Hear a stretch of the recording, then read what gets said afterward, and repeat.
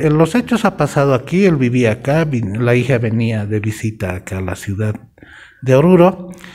y aprovechando que la niña venía en, vacaciones a pasar un fin de semana con, el, con su padre, este sujeto eh, aprovechó eh, esas circunstancias para cometer este tipo de delito. Y bueno, la niña comentó, le contó lo sucedido a la madre Además que indica la, la, propia niña que no sería la primera vez, que habría pasado en reiteradas ocasiones y eso es lo más grave. Y bueno, eh, ayer fue aprendido en la, en, la ciudad de Potosí, en horas de la noche ha sido trasladado acá. A, a primeras horas de la mañana el Ministerio Público ha presentado la imputación formal.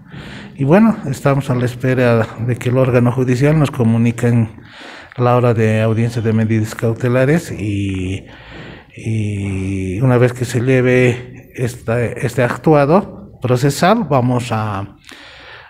ver eh, si la madre eh, tenía algún grado de complicidad, porque no sé, el fiscal de Potosí nos indican que, que en la entrevista de la madre, eh, ella no habría presentado ningún tipo de denuncia, ¿no? Aparentemente existiría un grado de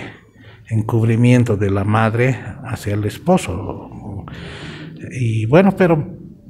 eh, lo primero que se lleva a la audiencia de cautelar es el día de hoy